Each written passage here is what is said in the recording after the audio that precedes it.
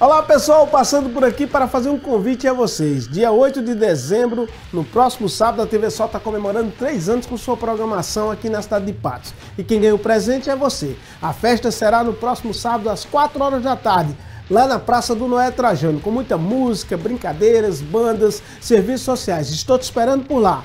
Vem comigo!